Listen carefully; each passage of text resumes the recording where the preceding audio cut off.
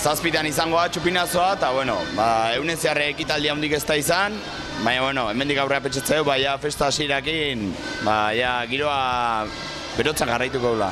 Festa batzordea da, festa kantolatzeituna, Eta bueno, aldan egitera hau anitz eta zabalena antolatzen saiatzea.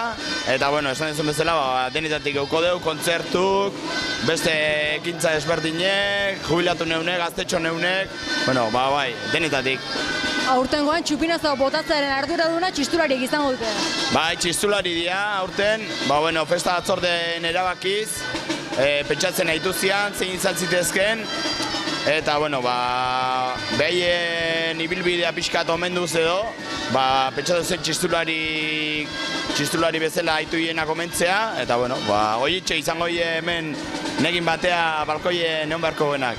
Eta zuk, ze plan, festetarako?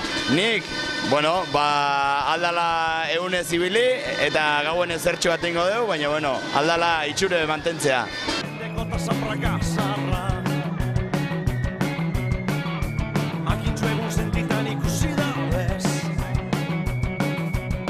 Oain e, urten behin bakarrik ite dugu saioa, oain zazpi urte hasi ginen, garai baten hola gaztetan ibiltze ginenak, eta aurten berriz ba, esan dute txupinerok izan, alde, izan nahi alde da, bueno, krisna poza, hartuko endun.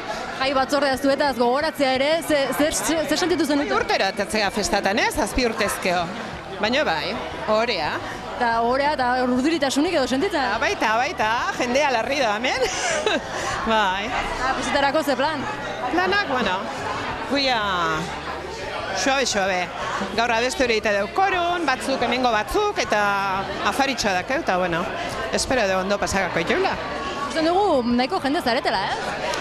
Bai, baino hain dela, zakit, atze, atzea jongo bagine, ba, igual berrogei, berrogei eta mar ateatze ginen, izate ginen, e, kalen txisto jotzen ateatze ginenak.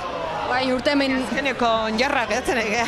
Eta urte hemen ateratzeko ohitura hori ezin da galdu, ez? Ohitura horiek mantendu egin barra. Bai, da, bai da, bai. Posti gainea, bueno, gero eta pieza bat gehiago urtero, bat gehiago la gogoratzen, o gogorarazten, o aigea, eta ondo.